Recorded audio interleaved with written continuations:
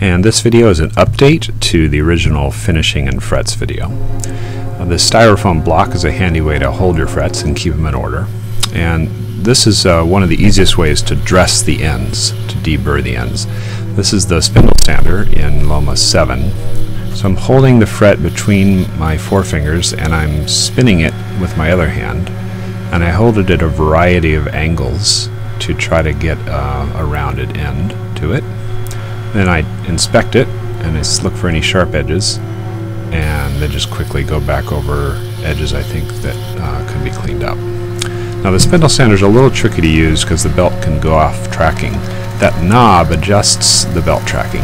When I rotate it in that direction towards the plus, that raises the belt position on the frame. And when I rotate the knob in the minus direction, counterclockwise, it lowers the belt. So you want to have uh, the pulley visible, just visible. Uh, this is another sander you can use, uh, maybe a little easier because there's more finger hand access room. Uh, same procedure, hold it at three angles, very shallow angle, medium angle, and a steep angle. Uh, light pressure, check it, uh, and then just uh, touch up any sharp edges.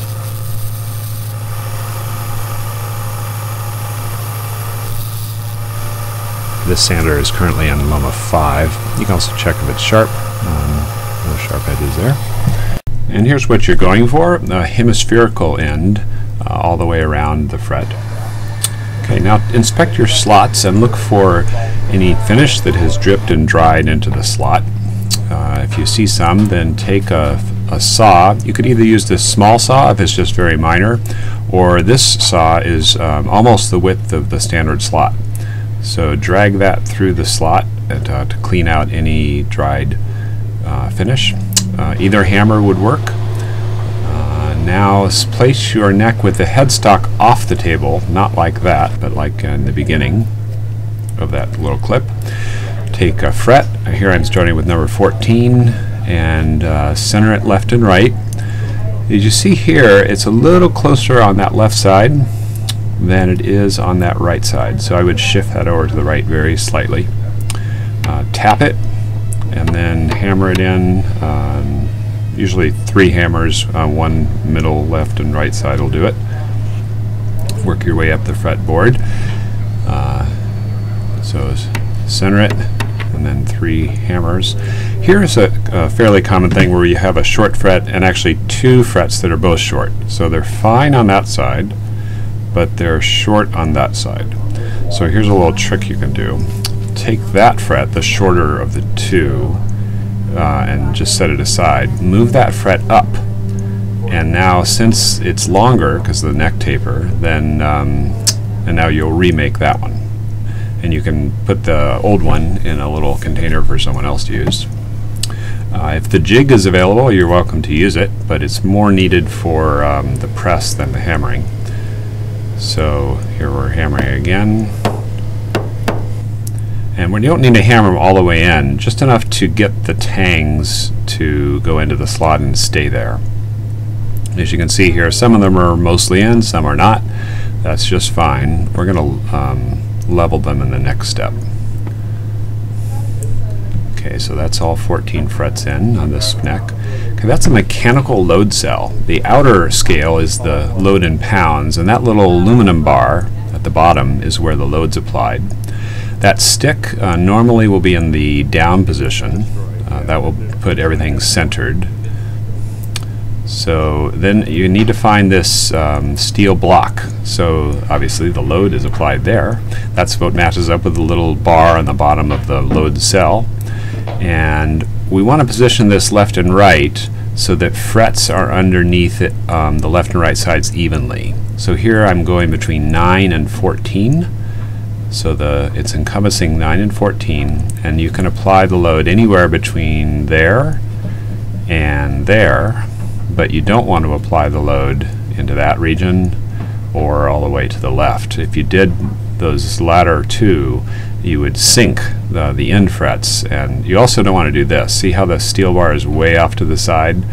So if you put the load bar in the middle of the steel bar, um, you're still going to sink uh, those frets. So we need to have frets evenly on both left and right sides. And here we go. We're gonna um, we got it between 9 and 14, so that's 6 frets, and that's 2,000 pounds divided through those 6 frets. It won't be even, uh, but that's okay because the, the method we're going to have here.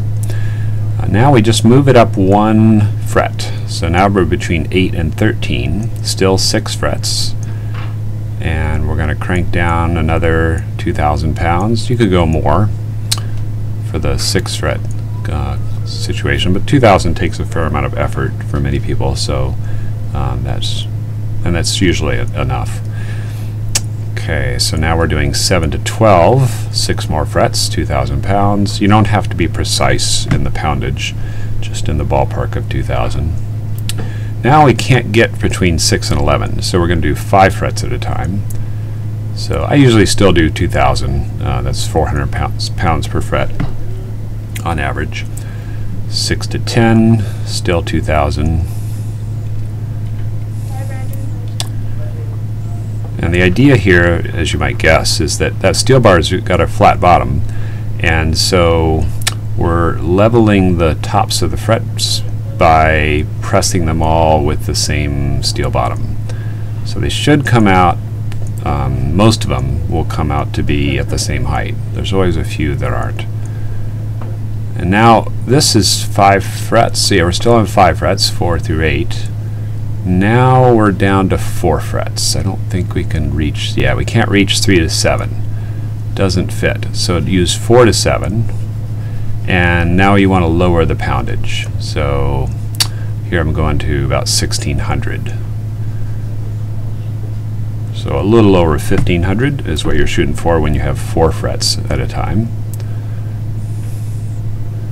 We're still applying the load right in the middle of the steel bar, and we're still, in each case, the steel bar is centered over the frets that it is touching. So that's 2, 3, 4, 5, and it's between 3 and 4. And here we have 1, 2, 3, 4 between 2 and 3. And that's about 15, 1600 pounds, a little more. Okay, so when that's done, the frets should be pretty level. Uh, they certainly will all be seated or they should be, uh, so you can inspect for that. And now we check how level they are. So we grab a straight edge, and you have to look very carefully and feel very closely. So I'm rocking that straight edge, and I'm noticing that fret number 9 seems to be the high one there. It's high on the right side, it's high in the middle, and it's also high on the left side. Okay, so 9 needs more pressure. Uh, so it needs to go in more. And there's a couple ways to do this. Here's one. Put it back, and there I go to 2,500 pounds, right over 9. Uh, that may do it.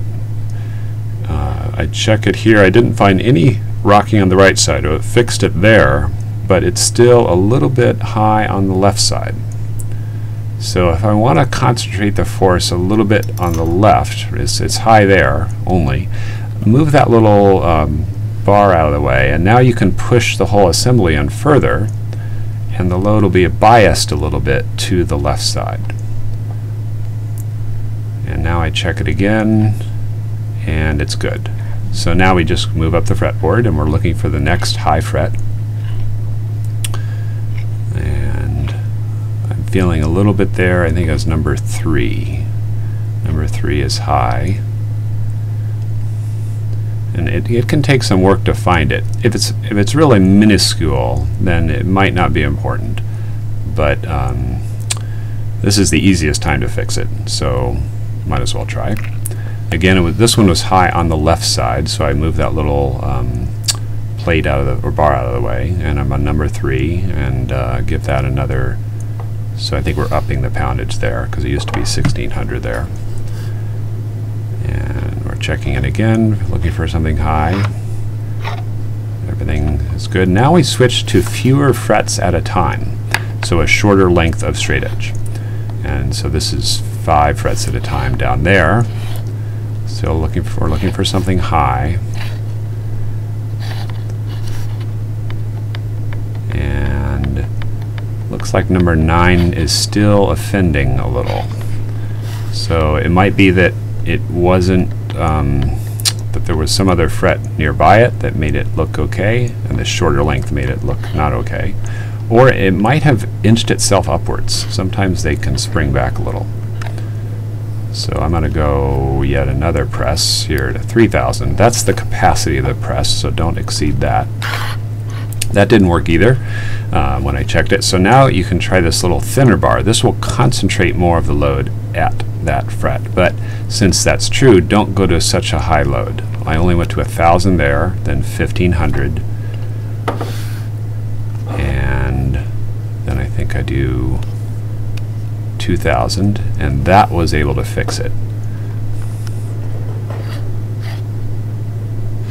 Okay, the reason we uh, you want to go up progressively is that if you press a fret in too far, if you crunch it into the wood, then you've created a bigger problem. And uh, generally it means that you have to crunch them all into the wood, which is a real pain. Okay, now we're doing three frets at a time. Now this is tricky because if you find a rocker, a fret that seems to rock, you don't know if it's rocking because the middle one is high or if one of its neighbors is low and, and that can happen when it gets um, crunched in. Now this is actually four frets at a time, but I'm using the same length of straight edge. Now we're doing three frets there, and 13 is high. Now this is tricky. Well, it seems like 13 is high, but um, it could be that 14 is low or 12 is low. So when I check that, uh, 12 does not appear to be low, and it turns out that really um, it was um, 14 that was low. And so if you find that your last fret is the only low one, uh, it's almost always best to just leave it that way. It won't cause a problem because it cannot cause a string buzz. Uh, in other words, uh, strings can't rattle against it. So um, any other fret being low has to be corrected, but not the very last one. And here's an example of a sunk fret where it's low. Um, 12 is okay. If you look at the reflected light off of the wood, you can see 13, it looks like the wood is diving down underneath the fret, and indeed it is. Uh, it's happening on 13 and it's happening more on 14. So as long as 14 is lower than 13, uh, just leave it that way. And I suggest checking your frets again in about a day. Sometimes a, a high fret will spring back up, and in that case, um, it's probably best to use abrasive leveling. Uh, the granite block with some probably 400 grit paper and we'll level the fretboard and then we'll have to polish each uh, leveled fret after that if you want it shiny.